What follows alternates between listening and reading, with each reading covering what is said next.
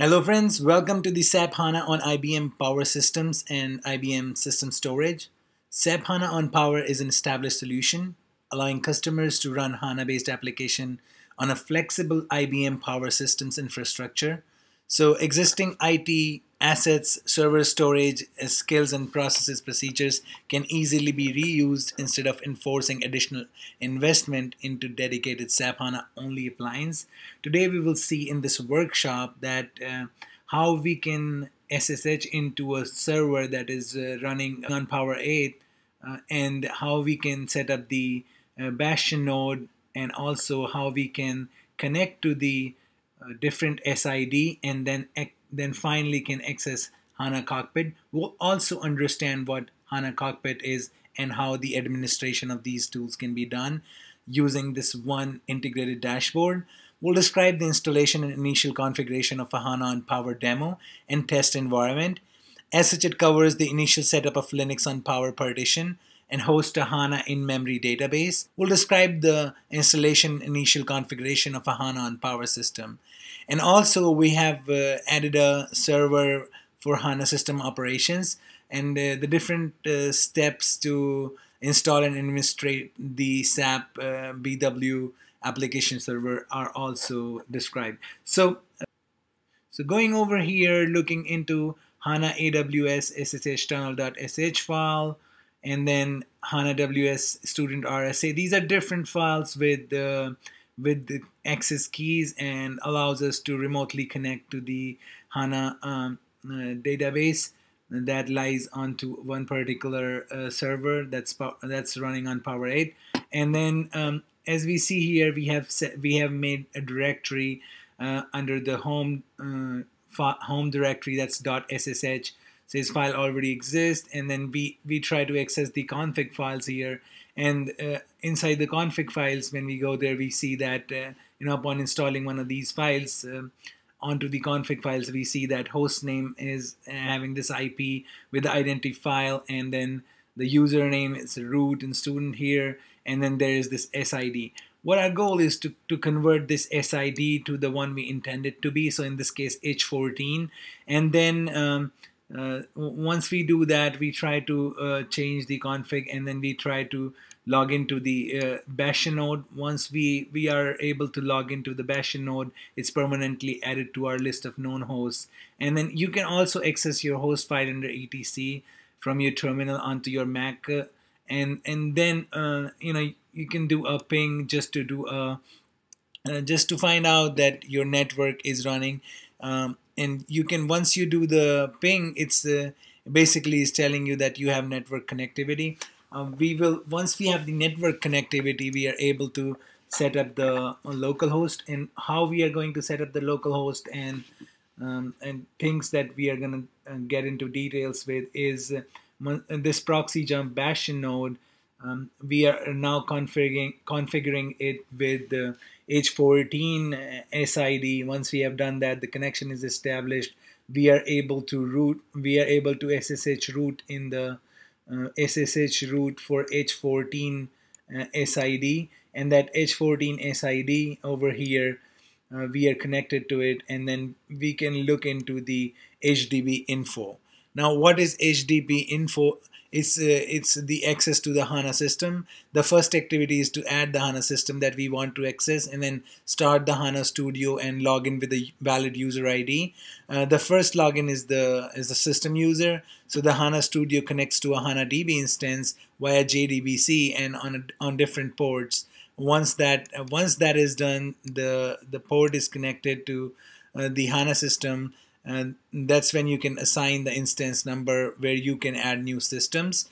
Uh, the system management and administration is done using the HANA cockpit and that HANA cockpit can be accessed with uh, uh, with this localhost uh, um, IP address. This localhost IP address is uh, is defined under the uh, this particular file that that we have changed the permissions for and and applied in and then we are doing a grep with RSA so if you see here we are trying to figure out uh, what are the different uh, services running on what IP addresses and then assigning onto the host the host name in order to access the cockpit. What cockpit does is basically uh, what what is it is a system where the uh, it's a web application you can access from a browser However, if you can, uh, you can also launch the SAP HANA cockpit directly from the SAP HANA Studio. But in, in the and in the context menu of the systems view, you can choose configuration and monitoring. We will access that system quite shortly now. So over here, as you see, you can start the port for HANA system. You can install the licenses. To install the HANA licenses, you can go to the HANA Studio, log in and right click on your database SID. And in the systems view, you can go to the license option and set it. We will also look into the different configuration options, different replication schemes. So let's let's quickly go to the local host uh, for the SAP HANA and oh, let me just bring that system up over here. So so this is the this is the system D system DB at H14 and over here you'd see so this is the index of HANA on Power Workshop presentation material. This particular is the system DBH14 system that we just set up using the terminal it gives you services alerts and and why these services are and alerts are important because uh, you know it is mandatory to set up monitoring and alerting in case a card fails to instantly take corrective actions. So it's very important. And and SAP HANA on Power is uh, basically uh, this is the demo environment that consists of a HANA database server, an application server, so partitions on, uh, on a virtualized Power Server S822. So the u the, the used storage is uh, is software uh, attached uh, storage and provided by IBM Spectrum Virtualized SAN volume control system. So in this we'll see that uh, we have the details of uh, session, threads, admission control, system replication. What is system replication? SAP HANA provides the possibility to replicate the SAP HANA system within the same or over two data centers for like high availability and disaster recovery. And this was um, this was also launched uh, onto the SAP Sapphire conference that SAP HANA on Power provides uh, exceptional DR and HA capability. Each service and instance of the primary SAP HANA system communicates like pairwise with its counterpart in the secondary system. Uh, we, we can replicate data, persist data logs, and also uh, load data to memory. We can do the logging and data can be compressed before shipping. Different features offered by SAP HANA system replication. The secondary system does not accept requests or queries, whereas you can you you can actually create a backup to enable system replication. And what that means is there is a primary node there's a failover node. When the failover nodes take over what's a takeover? Takeover is when the system, the primary node is down the whole complete processing goes to failover node.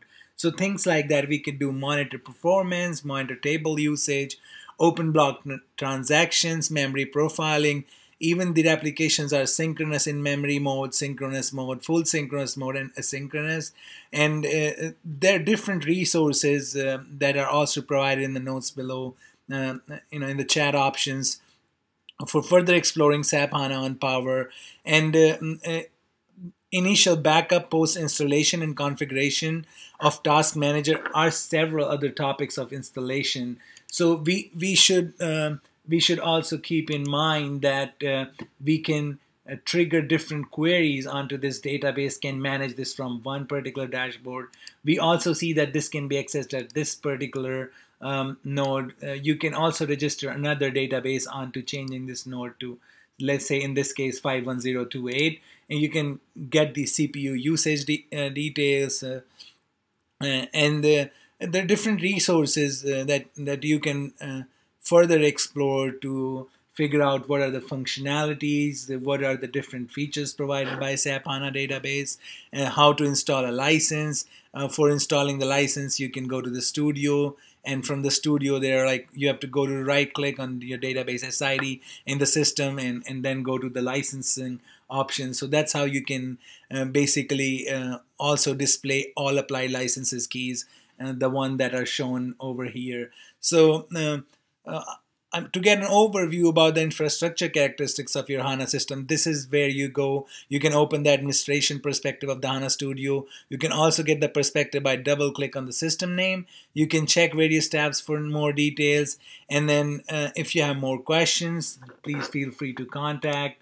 Uh, this is this is just an overview and if you want more details set up a demo please reach out uh, please uh, uh, like the video and subscribe us and and get in touch with us to know more about uh, different topics different uh, applications for uh, that can be connected or integrated with your SAP HANA system on Power. Thank you so much for listening in today. Hope you have a good one.